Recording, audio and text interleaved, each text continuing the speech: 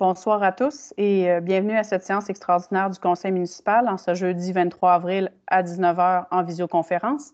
Considérant que le Conseil municipal est élu et siège selon les règles de droit en vigueur au Québec, considérant les mesures exceptionnelles liées et adoptées par euh, décret du gouvernement provincial pour faire face à la pandémie de COVID-19, permettant au Conseil de siéger à huis clos et permettant à leurs membres de prendre part, délibérer et voter à une séance par tout moyen de communication sans nécessairement devoir être présent en personne, considérant que cette séance du Conseil municipal se tient entièrement en visioconférence, en présence de M. Jean Giroux, de Mme Laurie Thibault-Julien, de M. Jimmy Laprise, de M. Francis Côté, de M. Louis-Georges Thomasin et de Mme Édith Couturier, formant quorum sous la présidence du maire, M. Carl Thomasin, en présence du directeur général, M. Marc Proux, et de la conseillère juridique aux affaires municipales et greffières, Mme Maud Simard.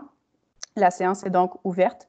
Nous allons commencer avec l'avis de convocation que je vais euh, décrire. Donc, considérant que la loi sur les cités et villes stipule que les membres du conseil doivent être convoqués au plus tard 24 heures avant l'heure prévue pour le début de la séance, considérant que la, greffière déclare qu'un avis de convocation pour la présente séance extraordinaire a été transmis à chaque, chaque membre du conseil municipal au plus tard le mercredi 22 avril 2020, considérant que les élus renoncent à l'avis de convocation conformément à la loi sur les cités et villes, il est ainsi déclaré que la séance extraordinaire sera régulièrement tenue selon l'ordre du jour. Monsieur le maire, je vous donne la parole. Merci, euh, Maître Simard. Bonsoir tout le monde. Bonsoir aux conseillers. Bonsoir aux gens qui vont nous écouter en visioconférence. Euh, une fois de plus, ce soir, on s'adapte à la nouvelle technologie. Euh, je vais vous demander, comme la dernière fois, d'être un peu conciliant avec nous. C'est quand même de la nouvelle technologie, on doit s'adapter. On, va, on va y aller tout de suite avec l'adoption de l'ordre du jour. Tout le monde a vu l'ordre du jour. Je demande le vote. Monsieur Giroux. Pour. Moi, je vais voter contre, en fait, étant donné qu'il y a certains points dans l'ordre du jour euh, que je considère qui sont non urgents, puis qu'il y a d'autres euh, points d'ailleurs qui sont qui vont à l'encontre du souhait de certains citoyens. Monsieur Jimmy? Oui? Continue?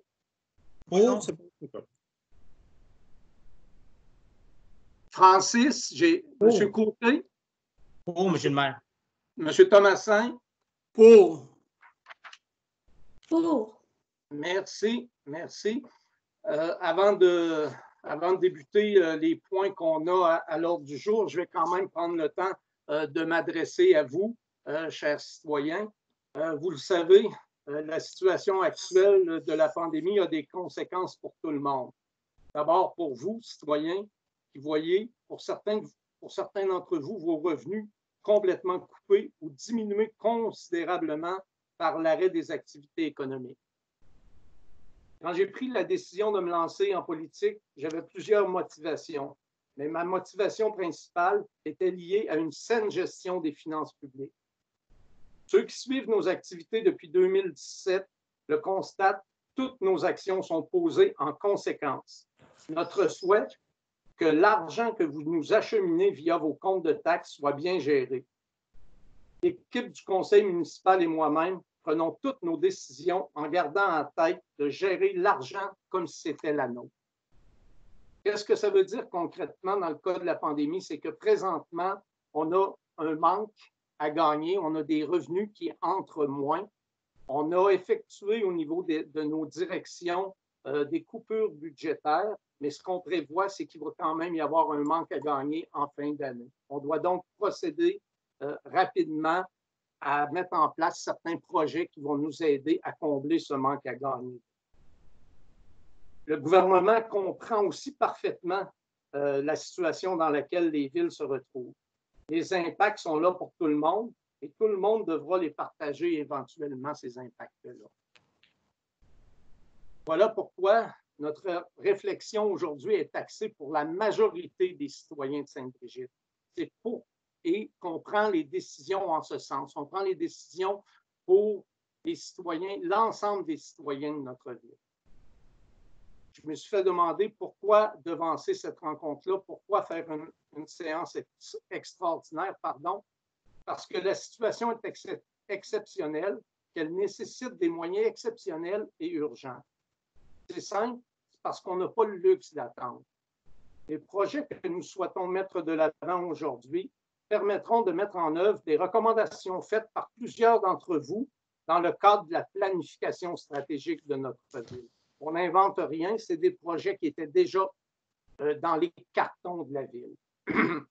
Plusieurs qui souhaitent voir des jeunes adultes avoir accès à des logements dans le milieu quand ils quittent la maison paternelle.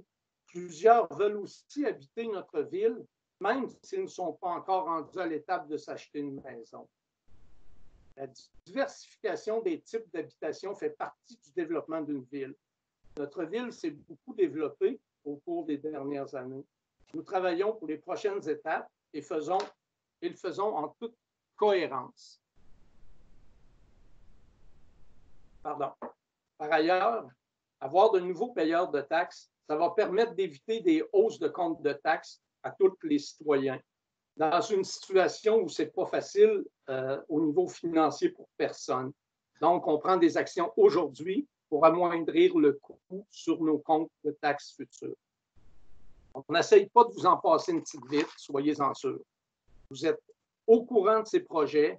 Vous aurez la possibilité de vous exprimer via une consultation écrite qui va durer deux semaines. C'est comme le prévoit la loi. Et on ne fera pas fi de vos opinions on va en prendre compte, on va en tenir compte, on va lire chacun des commentaires, on va lire chacune des suggestions et on va y répondre. Vous savez, euh, être élu, euh, c'est penser au bien de la majorité, euh, c'est penser au bien de la collectivité et de s'assurer que celle-ci soit, soit bien servie. C'est écouter les experts qui nous entourent et prendre le meilleur de leurs recommandations tout en respectant nos engagements. Et quand nous avons pris la décision de nous lancer en politique, nous avions une idée de la complexité de certaines décisions qu'on aurait à prendre. Je peux vous dire que ce soir, c'est des décisions qui sont parfois déchirantes, mais on n'a pas le choix d'y prendre parce qu'il faut être proactif, il faut voir un petit peu plus loin que le bout de notre nez. Nous avons exemple aujourd'hui du genre de décision que nous devrons prendre et assumer pour respecter les motifs même de notre engagement politique. Nous voulons que votre argent soit géré sainement. Nous croyons sincèrement que les moyens que nous prenons présentement sont les bons. Merci.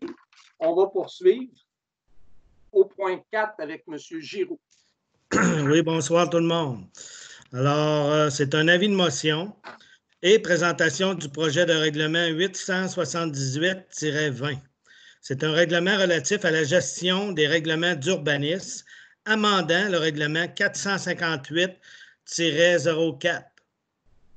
Alors, conformément à l'article 356 de la loi des cités et villes, je donne avis qu'il sera présenté pour adoption à une séance ultérieure du conseil municipal. Le règlement 878-20. Le projet de règlement est présenté et déposé. Ce règlement vise à modifier l'article des définitions du règlement 458-04. Alors, c'est pour revoir les termes suivants. C'est rien de compliqué. Euh, les termes sont l'eau ou terrain desservi, l'eau ou terrain non desservi, rue privée, rue publique et l'eau ou terrain enclavé. Merci, M. Giroux. Je poursuis au point 5. Priorisation des dossiers en urbanisme, c'est un ajout. Considérant la résolution, établissant les dossiers en urbanisme dont le processus réglementaire est priorisé en raison de la pandémie de la COVID-19, considérant que l'arrêté ministériel du 22 mars 2020 prévoit que toute procédure qui implique le déplacement ou le, les rassemblements de citoyens fait partie du processus décisionnel d'un organisme municipal est suspendu ou remplacé, considérant que le conseil municipal considère que les modifications réglementaires débutées sont prioritaires puisqu'elles représentent une opportunité économique importante pour la ville.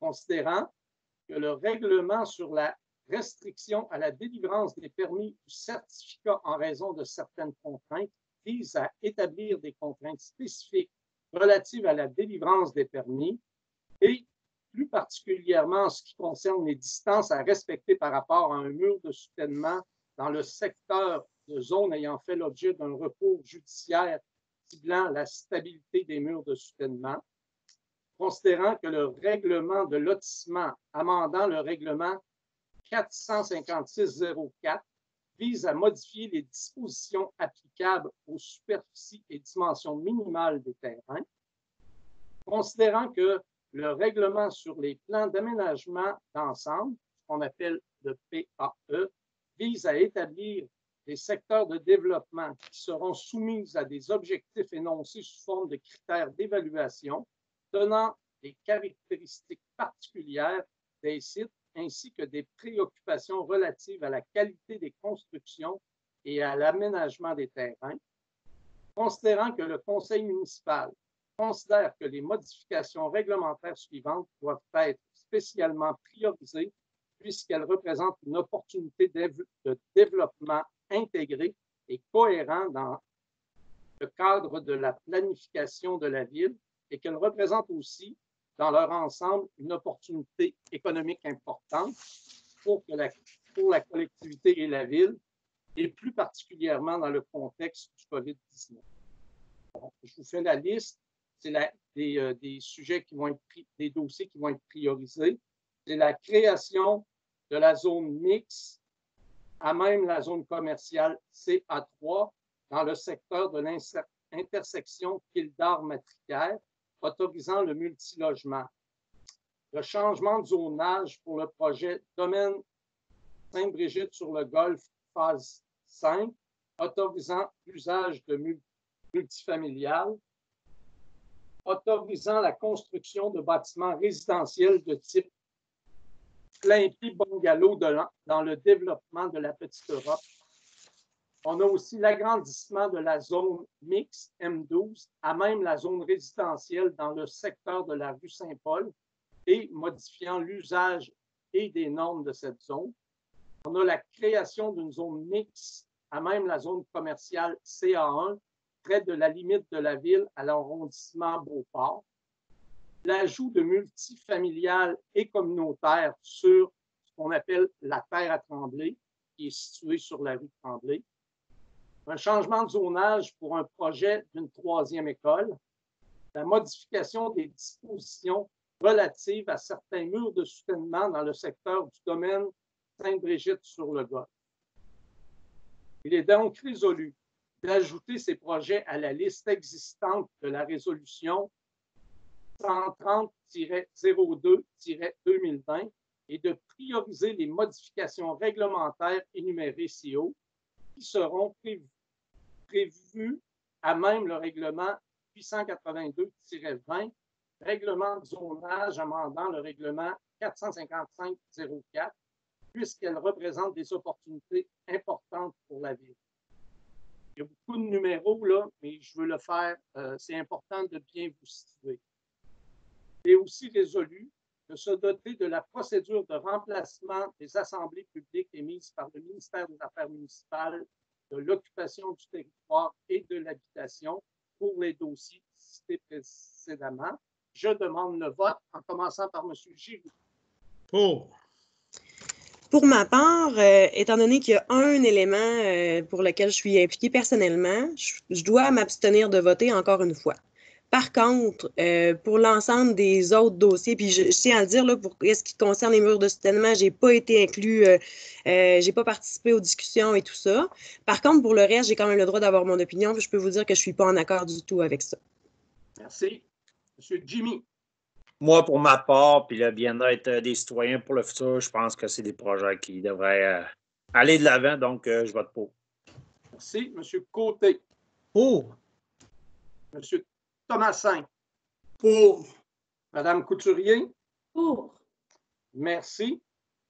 On passe au point suivant, le point 6. Monsieur Giroux.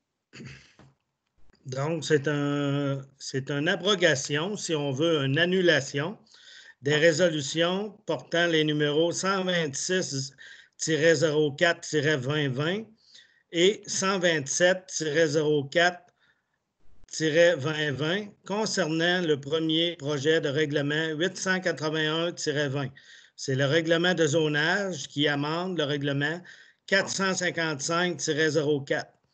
Alors, considérant que la Ville a adopté le premier projet de règlement 881-20, règlement de zonage le 14 avril 2020, considérant que le projet de règlement doit être annulé pour permettre l'ajout de modifications au règlement 455-04, il est résolu d'annuler ou d'abroger les résolutions portant les numéros 126-04-2020 et 127-04-2020 adoptés le 14 avril 2020 concernant le premier projet de règlement 881-20. Il est aussi résolu d'adopter un nouveau règlement modifiant le règlement 455-04, règlement de zonage, afin d'y intégrer toutes les modifications réglementaires envisagées, compte tenu du contexte de la pandémie actuelle et des opportunités économiques importantes pour la collectivité de Sainte-Brigitte de Laval. Alors, je demande le vote et je vote pour. Pour. Pour. Pour. Pour. Pour. Merci, Mme Couturier. Au point 7, M. Giroux.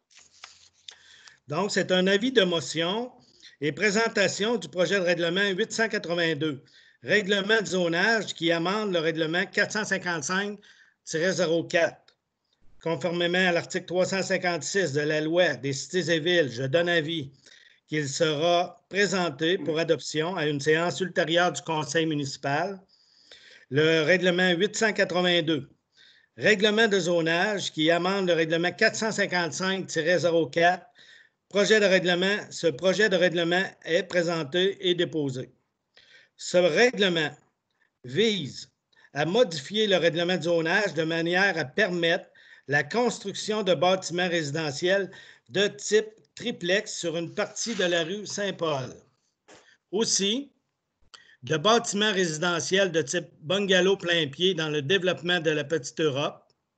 Aussi, à autoriser un projet mix dans la zone commerciale CA1, à prévoir des usages autorisés pour deux secteurs du domaine Sainte-Brigitte sur le Golfe phase 5 et d'un terrain sur le site de la Terre à Tremblay sur la rue Tremblay, et aussi à créer une zone mixte à même la zone commerciale dans le secteur de l'intersection Kildare-Matricaire et à autoriser l'usage école pour deux terrains. Le règlement permettra aussi d'instaurer des normes visant à assurer la pérennité des murs de soutènement dans le secteur du domaine Sainte-Brigitte sur le Golfe et d'assouplir les normes d'implantation pour les potagers en cours avant. Merci, M. Giroux. Je poursuis au point 8, c'est l'adoption du premier projet de règlement euh, 882-20. C'est suite à l'avis de motion que M. Giroux vient de. Considérant que la Ville a adopté le 9 février 2004 le règlement de zonage et qui est entré en vigueur le 26 mars 2004, considérant que la Ville est régie par la loi sur l'aménagement et l'urbanisme. Le règlement de zonage peut donc être modifié que conformément aux dispositions de cette loi. Considérant qu'il y a lieu de modifier le plan de zonage et la grille des spécifications insérées au règlement 455-04, notre règlement de zonage, considérant qu'il y a lieu d'ajouter des normes spécifiques pour les secteurs des zones de développement du domaine Sainte-Brigitte sur le Golfe pour assurer la pérennité des murs de soutènement, considérant qu'il y a également lieu d'assouplir les normes relatives à l'implantation des potagers ainsi que de retirer une norme relative au lotissement pour la classe d'usage H6, pardon, considérant qu'il y a eu avis de motion du présent règlement a été donné et que le projet de règlement a été présenté lors de l'Assemblée euh, du Conseil euh, de ce soir, considérant qu'une copie du projet de règlement a été remis à chacun des conseillers, considérant aussi que le règlement était disponible pour consultation deux jours juridiques avant la présente séance. Considérant que l'arrêté ministériel du 22 mars prévoit que toute procédure qui implique le déplacement ou le rassemblement de citoyens qui fait partie du processus décisionnel d'un organisme municipal est suspendue ou remplacée par une période de consultation écrite. Il est résolu d'adopter le premier projet de règlement 882-20, règlement de zonage amendant le règlement 455-4, pardon, de tenir une consultation écrite de 15 jours en conformité avec l'arrêté numéro, l'arrêté ministériel de la santé et des services sociaux en date du 20 mars, 22 mars 2020. Je demande le vote, M. Giroux. Pour. Même chose que tout à l'heure. En fait, je dois m'abstenir de voter étant donné que je suis impliquée personnellement pour les murs de soutènement. Mais pour qu'est-ce qui consiste euh, dans le reste du document, ben, je ne suis pas d'accord. Merci. M. Jimmy? Toujours d'accord. Pour. Merci. M. Côté? Monsieur le maire, si vous permettez, je vais juste m'exprimer un peu sur euh, cette euh, résolution-là. Là. L'implantation des unités de logement, euh, c'est quelque chose qui était très demandé au niveau de la planification stratégique. Planification stratégique qui a été menée là, avec la rencontre de plusieurs groupes, de, plusieurs organismes à Sainte-Brigitte, Plusieurs groupes de citoyens également, plusieurs conseillers et conseillères ont participé d'ailleurs à ces rencontres-là. Là. Donc, ce n'est pas nous qui avons inventé ça, ni la ville, c'est vraiment les citoyens qui nous ont fidés là, en nous disant quels étaient leurs besoins, leurs priorités, comment ils voyaient les dix prochaines années de développement à Saint-Brigitte de Laval. Et l'implantation d'unités de logement est revenue très régulièrement. Donc, nous, euh, on ne fait pas une planification stratégique comme ça. On ne va pas demander aux gens leur avis et après ça, faire n'importe quoi. On suit ce que les gens nous disent. Et ce qu'ils nous disent, c'est qu'ils ont besoin, il y a un besoin criant au niveau des logements à Saint-Brigitte de Laval. Je peux vous donner deux, trois exemples, si vous voulez, M. le maire. Deux personnes âgées, un des, un des deux décède, ça fait 50 ans qu'il reste à Sainte-Brigitte de Laval. La personne restante pourrait vendre sa maison, elle ne peut plus vivre là vraiment, de la difficulté à ne pas voir l'autre partout mais elle ne le fait pas parce que si elle le fait, plus de place à rester, il faut qu'elle parte de Sainte-Brigitte parce qu'elle n'est pas prête à s'en aller en résidence. Donc, on arrive aussi à un autre exemple que je peux vous donner, euh, un couple qui, euh, divorce, qui se sépare. Euh, un des deux garde la maison à Sainte-Brigitte, l'autre veut rester proche de la famille. Il ne peut pas le faire parce qu'il n'y a pas de logement. Il faut que s'en aille à Québec ou même un peu plus loin. Si on le voit dans l'autre tranche d'âge, de, les plus jeunes, vous en avez parlé tantôt, les 20-24 ans, ils veulent quitter la maison, sont prêts parce qu'il y a un job à Sainte-Brigitte, puis il y a un petit peu d'argent qui rentre, ils n'ont pas les moyens de s'acheter une maison. S'ils vont en logement, il faut falloir qu'ils s'en aillent à Québec. S'ils s'en vont à Québec, ils vont lâcher leur job à Sainte-Brigitte. Donc, tout ça, c'est des, des exils obligatoires qui sont créés par le manque de logement. Et là, j'en passe, puis je m'en suis fait compter parce que je marche beaucoup dans les rues de Sainte-Brigitte. Les gens viennent au-devant de moi, je vais au-devant d'eux. Des drames comme ça, je l'ai entendu régulièrement. Puis, vous savez, dans notre, dans notre euh, façon de fonctionner, on a dit aux gens que nous, on voulait diversifier euh, l'assiette fiscale pour essayer de modérer un peu l'impact sur euh, les comptes de taxes des citoyens. On a amené le parc technologique qu'on est en train de travailler dans cette optique-là. Ben, l'implantation de l'unité de logement, ça s'inscrit dans cette volonté-là. Donc, euh, moi, ce que je veux dire, c'est que je suis content de cette avancée-là et je vote pour. Merci, M. Côté. M. Thomasin. Pour. Mme Couturier. Oui, je suis d'accord aussi avec ce que Francis vient d'émettre. Alors oui, je vote pour. Merci beaucoup, Mme Couturier. On passe au point suivant qui est le point 9. Monsieur Louis-Georges. Annulation de l'appel d'offres public SDDL 2020-02. Réfection, bâtiment de réservoir d'eau potable et construction d'une chambre de débitmètre. Considérant que l'appel d'offres public SBDL 2020-02 pour la réfection du bâtiment de réservoir d'eau potable sur la rue Bellevue et la construction d'une chambre de débitmètre a été lancé le 6 février 2020 et que l'ouverture des soumissions a eu lieu le 3 mars 2020. Considérant que les deux soumissions reçues et conformes sont nettement au-dessus des estimations de la Ville et des ingénieurs au dossier, considérant l'article 6 du devis de l'appel d'offres, SBDL 2020-02, qui précise que la Ville se réserve le droit d'accepter ou de refuser une ou plusieurs des soumissions reçues, y compris la plus avantageuse. Considérant la recommandation favorable de la conseillère juridique aux affaires municipales et greffières, du directeur des services techniques et de la directrice des finances et trésorières d'annuler l'appel d'offres SBDL 2020-02 Il est donc résolu d'annuler cet appel d'offres pour la réfection du bâtiment d'un réservoir d'eau potable et la construction d'une chambre de lignite, de soumettre la réévaluation du projet dans son ensemble au directeur des services techniques et d'autoriser la Ville à lancer un nouvel appel d'offres au moment opportun ou à solliciter de nouveau un contrat conformément aux dispositions prévues au règlement 865-20 portant sur la gestion contractuelle et d'autoriser le maire, le directeur général ou la directrice générale adjointe à signer les documents afférents. Et j'en demande le vote. Monsieur Giroux. Pour. Pour. Jimmy. Pour. Madame Couturier. Pour. Merci beaucoup. On poursuit au point suivant, le point 10, avec Madame Couturier.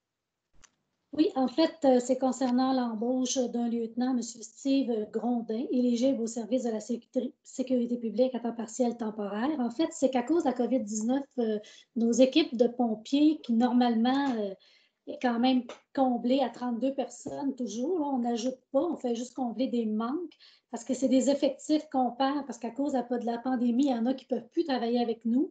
Donc là, afin de combler tous ces vides-là, alors on a engagé M. Steve Grondin à titre de lieutenant éligible.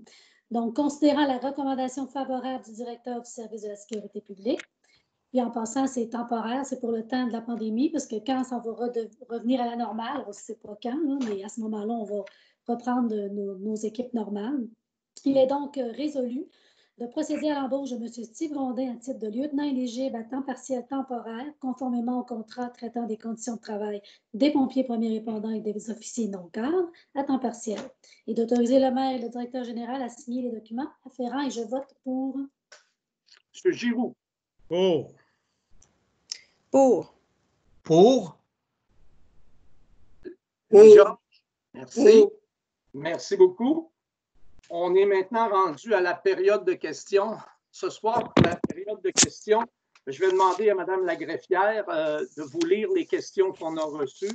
Et comme à l'habitude, là, je, vais, euh, je vais y répondre euh, du meilleur de nos connaissances. Et si je n'ai pas toutes les réponses, on, fera on fera les recherches pour répondre à vos questions. Madame la greffière, la première question. Oui, Monsieur le maire. Donc, la première euh, question nous vient de Mme Anne-Catherine Fortin, au 50 rue Jennings. La question est la suivante. Bonjour. Est-ce que la zone M13, créée à même la zone CA3, représente le retour du projet de 64 logements que les résidents ont contesté l'automne dernier ou vous avez d'autres plans? Merci. Merci beaucoup, Mme Maud. Oui, euh, oui, Mme Fortin, c'est le même projet. C'est huit bâtisses avec huit logements, donc pour un total de 64 portes. Euh, il n'y a pas de modification comme telle au projet. Ce que je vais faire, c'est je vais vous inviter, comme on l'a dit euh, dans la présentation de, la résolution, je vais vous inviter à faire parvenir vos commentaires par écrit. soyez sûr que si vous avez des questions, si vous avez des commentaires, des suggestions, on va en tenir compte. Mais pour répondre concrètement à votre question, oui, c'est le même projet. Merci de votre question. Question suivante, euh, Madame la greffière. La question est de M. Dave Allard, au 117 rue Kildare. Bonjour, j'aimerais savoir pour le projet du coin Kildare et Jennings, combien de blocs et combien de portes totales pour le projet? J'aimerais aussi savoir l'entrée de ce projet est-il sur la rue des Saphirs ou sur la rue Jennings? En fait, comme je viens de le mentionner à la question précédente, c'est oui, c'est huit logements, huit bâtisses de huit logements, donc on parle de 64 portes. Et euh, pour les entrées, il va y avoir une entrée sur euh, la rue euh, Jennings et aussi sur Saphir. Il va y avoir deux entrées. Question suivante. La question de M. Éric Marceau, 2 rue Jennings. Bonjour, suite à votre demande de changement zonage M13, on demande un registre comme la dernière fois. Merci. En fait, M. Marceau, dans son arrêté ministériel, la ministre, vu euh, vu la nature de la situation qu'on vit présentement. Et euh, elle l'a dit aussi, là, vu l'importance euh, des projets qu'on a, ces projets-là ont une importance financière pour la ville de Sainte-Brigitte majeure.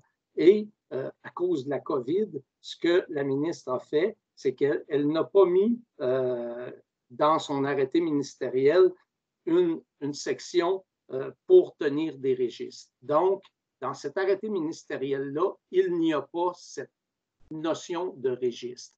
Mais je vous invite, M. Marceau, et je sais que vous êtes intervenu souvent sur ce dossier-là, je vous invite à faire parvenir vos commentaires et aussi vos suggestions pour faire en sorte que ce projet-là ait une acceptabilité sociale. Je vous le demande, là, euh, ce n'est pas juste un projet euh, pour les gens autour là, de cette zone-là. C'est un projet qui aujourd'hui revêt une importance pour l'ensemble de la collectivité de Sainte-Brigitte.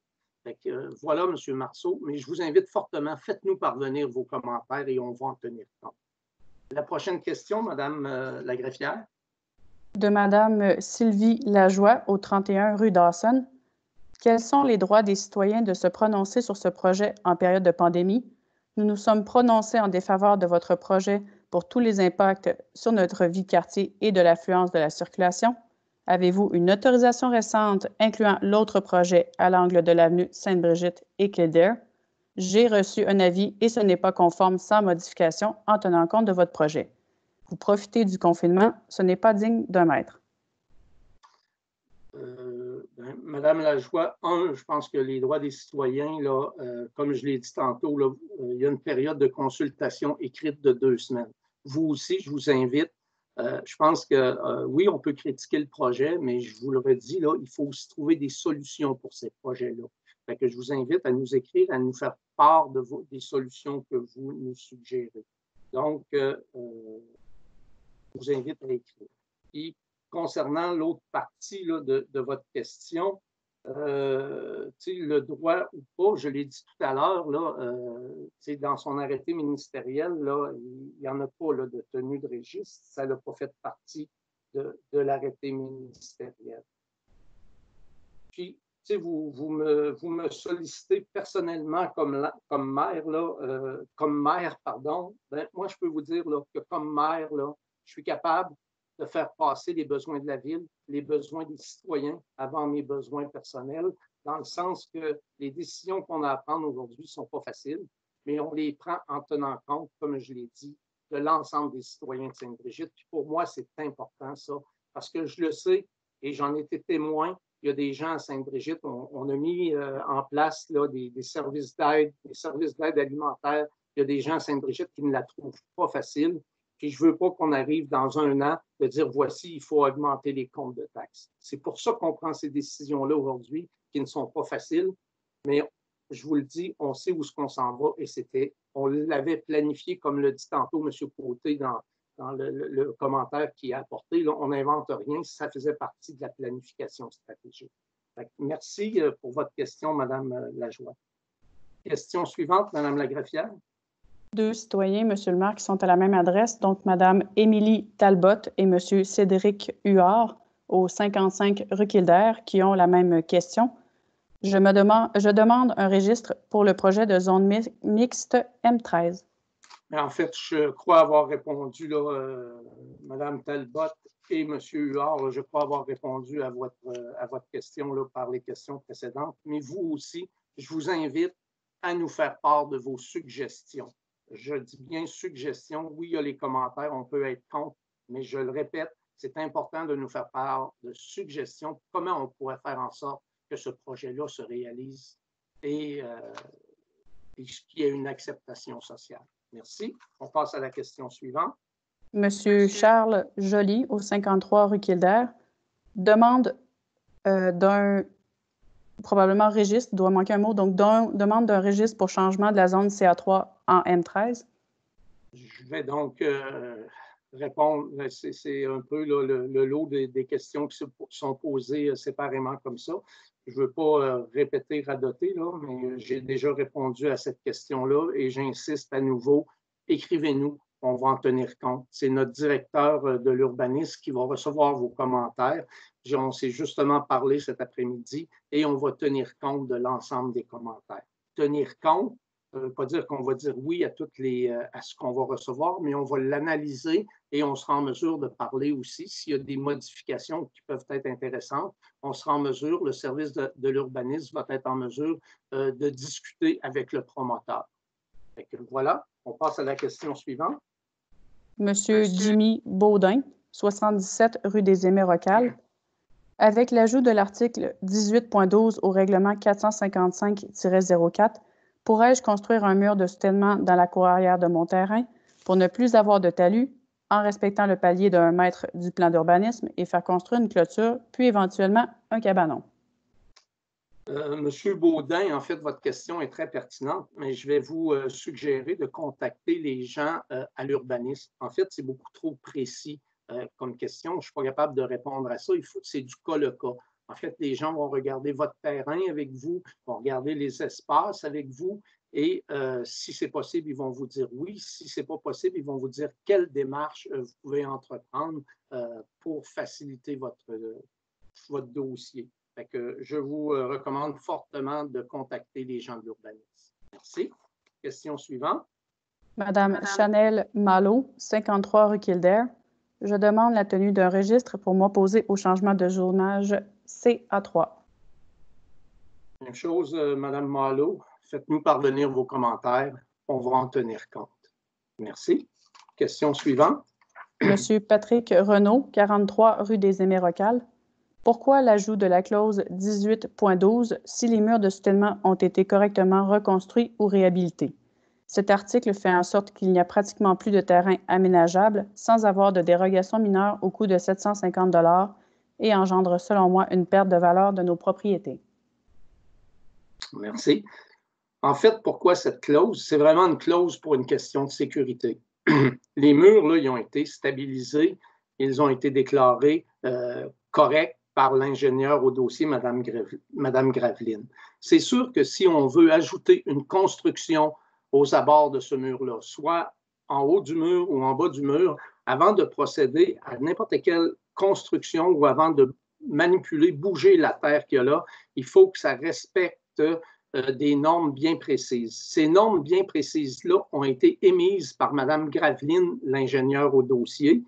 Euh, donc, ce n'est pas la ville qui a émis ces, ces, ces normes-là. -là, C'est vraiment fait par Mme euh, Graveline euh, c'est elle aussi qui a supervisé les travaux. C'est l'experte dans, le dossier des murs. Fait que, effectivement, euh, par la suite, quand, il faut faire des demandes euh, de dérogation mineure ou, je vais vous dire, contacter le service de l'urbanisme, ils vont bien vous expliquer c'est quoi la démarche. Fait que voilà, euh, M. Renaud, la réponse à votre question. Question suivante, euh, Madame Maude. Madame Cindy Dupont, au 83, pardon, 82 rue Jennings. Madame Dupont a trois questions. Je commence par la première. Pourquoi, plaît, y... oui. Pourquoi y a-t-il urgence d'agir dans le dossier du changement de zonage au coin de la rue Kildare? En fait, je l'ai mentionné euh, régulièrement. L'urgence, elle est vraiment au niveau financier. C'est vraiment, euh, Madame Dupont, on ne veut pas être pris de court au niveau financier, puis on se voit très mal, comme je l'ai dit, euh, d'augmenter le compte de taxes à nouveau des citoyens. On a des revenus de moins, on a des dépenses qu'on tente de contrôler, mais ce n'est pas toujours facile. Donc, comme ville, on se doit d'aller chercher des nouveaux revenus et ce projet-là euh, va nous permettre d'aller chercher des nouveaux revenus. C'est ça la réponse. Merci. La seconde, la seconde question est la suivante. Vous vous dites à l'écoute de vos citoyens. Les citoyens ont manifesté leur désaccord par rapport au changement de zonage au coin de la rue Kildare. Pourquoi adoptez-vous quand même ce changement de zonage alors que vous savez que les citoyens du quartier sont en désaccord? En fait, je lui ai répondu, je, vous ai répondu à quelques reprises là, à cette question-là. Ce pas des décisions qui sont faciles à prendre, j'en conviens, puis on vous a bien entendu. J'étais présent à la séance de consultation qu'il y a eu à l'automne.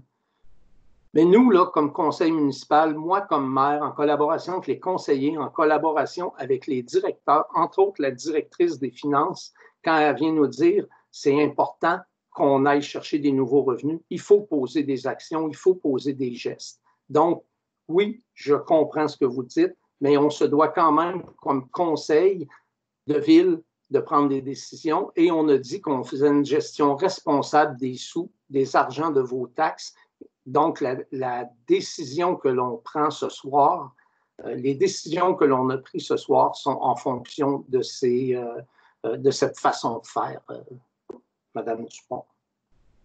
Merci. La dernière question de Mme Dupont. Lors de la présentation du projet aux citoyens, la zone située où le terrain de soccer ne devenait pas une zone, une zone mixte, mais une zone récréative. Pourquoi est-ce redevenu une zone mixte? En fait, euh, merci de votre question, euh, Madame Dupont. Euh, cet après-midi, pas plus tard que cet après-midi, on a fait le lien avec le directeur de l'urbanisme et la correction va être faite prochainement pour ce que vous amenez. Fait qu'on a tenu compte de votre. vous avez raison, on a tenu compte de ce que vous amenez. merci pour votre question. La suivante. Monsieur Didier Bonaventure, au 245 Avenue Sainte-Brigitte. Deux questions. La première, en quoi était, il était urgent d'organiser cette séance extraordinaire, sachant que nous sommes dans une pause qui nous empêche d'exercer pleinement de visu nos rôles comme citoyens? OK, je vais répondre à la première question, euh, Mme Maud. Ben, en fait, l'urgence de tenir une, extraordinaire, c'est assez simple je pense que je l'ai expliqué au niveau financier, il y a, cette urgence-là, on veut être prêt. Pourquoi tenir un extraordinaire aussi? C'est qu'il y a des délais. On doit respecter des délais et il y a plusieurs étapes à respecter. Vous savez, une ville, ça parle par résolution. On peut pas régler ça juste euh, euh, l'équipe de conseillers ensemble, les conseillers avec l'administration et aller de l'avant. On doit tenir des séances et des fois de tenir des séances extraordinaires. comme conseil, on a toujours fait attention de ne pas en tenir trop de séances extraordinaires euh, parce que c'est pas ce qu'on préfère. Mais là, dans la situation qu'on vit présentement, on n'avait pas le choix de tenir un extraordinaire. C'est pour ça. Puis euh, voilà, euh, la notion d'urgence de tenir cette, c'est la réponse par rapport à la notion d'urgence de tenir cette assemblée-là ce. Pour la deuxième question, oui, la deuxième question. Concernant la zone M12, si j'ai bien compris, pourquoi avoir fait l'ajout de la classe d'usage H4 avec mention d'un nombre maximal de logements à 4, sachant que les citoyens de ce secteur vous auraient largement dit non via un registre ouvert dernièrement? En fait, euh, il n'y a jamais eu de registre ouvert pour euh, la zone que vous parlez, euh, que vous faites allusion, M. Bonaventure, la zone M12. Ça fait deux ans et demi que je suis à la ville et, jamais on a eu de, registre qui est ouvert pour cette zone-là. Soit que vous ne faites pas référence à la bonne zone, je ne peux pas aller plus loin dans cette question-là. Merci beaucoup, M. Bonaventure. Prochaine question. Monsieur Jérôme Filion, au 29 rue Kildare. Quand est-ce que la rue Kildare ne sera plus une autoroute? Avec tous vos projets que tout le monde vote contre, vous allez écœurer vos citoyens à essayer de nous passer des petites vites et de profiter du système. En fait, M. Filion, euh, je crois avoir répondu à, l'ensemble de vos questions, mais euh, pour ce qui est de vous en passer des petites vites, là, je vous invite là, à, consulter l'arrêt ministériel. On ne fait rien d'illégal. Ce qui a été fait, euh, c'est tout, tout euh, réglementaire, c'est au niveau de la loi. Et comme je pense que Francis, M. Côté, vous l'a bien expliqué, c'est quelque chose, euh, c'est pas quelque chose de nouveau, c'est quelque chose qui faisait partie de la planification stratégique. Et je vous ai expliqué l'urgence au niveau financier aussi. Donc, euh, je, me verrais mal, très mal, dans un an, dire à tout le monde, le voici. Un petit peu, vous l'avez vu, euh, ceux qui suivent la, politique municipale un peu de près, là, euh, nos voisins du lac Beauport ont dû augmenter les taxes municipales entre 13 et 15 là. Je me vois mal comme maire, puis je pense que les conseillers ne seraient pas plus d'accord d'aller dans ce sens-là non plus. Fait que les décisions qu'on a prises aujourd'hui, ce pas des décisions faciles, je comprends votre point de vue. Vous aussi, je vous invite à nous écrire. On va tenir compte de vos suggestions, mais on se doit d'aller de l'avant dans le contexte actuel que l'on vit. Merci pour votre question, M. Filion. Question suivante, euh, Mme Maude. Madame Christine Bellan, au 83 rue Kildare. On nous avait dit qu'il y aurait un référendum sur le projet de logement. Il n'a jamais eu lieu. Pourquoi? Vous auriez pu le faire en début d'année. Le changement de la M13 procède en catimini. Les citoyens n'ont pas pu consulter les documents. C'est une bassesse de votre part. Nous avons le droit de nous exprimer et vous d'écouter. Et votre responsabilité est de prendre en considération que nous ne voulons pas de ces logements, comme exprimé à la séance et à la signature du registre. Merci beaucoup pour la question, euh, Mme Belland. En fait, le référendum, là, c'est pas nous à la Ville qui a parlé de ça. On n'a jamais émis, euh, on n'a jamais dit qu'on allait faire un, référendum. L'autre chose, euh, les documents, là, les documents là, pour ces projets-là, ils vont être mis en ligne. Vous allez pouvoir les consulter. Ce n'est pas des cachettes. vous aussi, je vais vous inviter fortement à, émettre vos commentaires qui peuvent être constructifs, on va en tenir compte. Euh, puis, tu sais, je veux toujours, parce que je, vais tout le temps me répéter, là, mais vous connaissez, je l'ai exprimé à quelques reprises, l'importance de la situation. C'est vraiment pour ça qu'on prend ces décisions-là ce soir. Et euh, peut-être juste euh, revenir là, tu sais, sur la notion, excusez, là, il faut que je euh, je veux revoir un peu votre question, là, mais euh, euh tout ça qui est fait en catimini, non, non, c'est fait de façon transparente, c'est clair. Peut-être que ça brusque certaines personnes, j'en conviens, mais comme je l'ai dit tout à l'heure, on le fait selon les normes de loi. Madame Maude, qui est notre greffière, s'est assurée que toute cette démarche-là, et s'est assurée, je vous dirais, et on s'est fait confirmer par une euh, source extérieure aussi que toute cette démarche-là que l'on a entreprise ce soir est faite de façon. Fait vous n'avez aucune inquiétude à y avoir là-dessus et ce n'est pas fait en question. Merci pour votre question, Mme Bell. Question suivante. Monsieur Patrick Renault, au 43 rue des Aînés Rocales. Où est l'urgence pour avoir une séance extraordinaire pour faire approuver des règlements, si ce n'est que le faire un peu en cachette et éviter le processus démocratique en ce temps de pandémie? Je pense que la question, là, la question se répète. Là. Je, vais vous référer euh, aux réponses que j'ai données précédemment, mais faites-nous parvenir, s'il vous plaît, M. Renaud, vos questions, euh, vos questions, vos commentaires. Ça va nous faire plaisir. Euh, c'est comme je l'ai dit, c'est M. Boutin, directeur du service de l'aménagement, qui va les recevoir. On va tenir compte de vos commentaires. Merci, M. Renaud. Prochaine question. Une deuxième question de M. Renaud. Au sujet du règlement que vous voulez adopter plus précisément pour les murs de soutènement, les distances de restriction euh, proviennent de qui et quelle firme et selon quelle étude? Ces documents devraient être fournis aux citoyens. La végétation avec réseau racinaire dans le mur, est-ce la ville qui va venir les couper? Aucun citoyen a acheté une maison avec une obligation d'entretenir ou de couper la végétation. Euh, comme je l'ai mentionné, là, les distances et recommandations par rapport aux murs euh, euh, qui, ont été réparés, c'est vraiment l'ingénieur au dossier, Mme Sonia Graveline, qui nous a fait ces recommandations-là. Euh, vous dites ne pas avoir copie de, ce document-là. si vous étiez dans le recours contre les murs, moi, je vous suggère de contacter votre avocate. Elle va être en mesure de vous les fournir, ces documents-là. Puis, vous pouvez aussi, vous allez pouvoir aussi les obtenir par notre service de l'urbanisme. Euh, vous me parlez là, de, couper les racines euh, au niveau du mur euh, qui pousse de la végétation qui pousse dans les murs, si vous étiez dans le recours des murs, je vous suggère aussi d'aller voir la conclusion. Je pense que c'est assez clair dans les recommandations de Mme Graveline qui doit entretenir le mur et à qui appartient le mur. Voilà, Monsieur Renaud, comme réponse à votre question. Et je vous dis, là, M. Renaud, vous pouvez, si vous avez des questions un peu plus précises, euh, contacter le service de l'urbanisme. Là, le règlement est assez clair et les gens vont, pouvoir répondre adéquatement à vos questions. Merci beaucoup. Est-ce qu'il y a d'autres questions, hein, Madame la greffière? Non, Monsieur le maire, ça complète pour les questions qui ont été posées.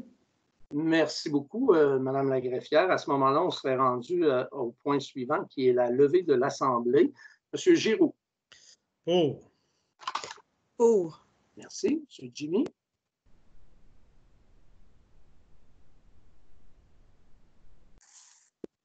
Jimmy? Maudit micro. Oui, pour. Merci. Pour. Francis, ça va? Oui. Oui, pour. pour. Louis-Georges? Pour. Pour. Edith? Merci, tout, merci tout le monde. Bonne fin de soirée. Et euh, espérons qu'on pourra tenir nos prochaines rencontres là, euh, en public parce que ce n'est pas toujours facile de tenir ça euh, comme ça en visioconférence. On a hâte de vous retrouver. Merci et bonne soirée à vous. Bien.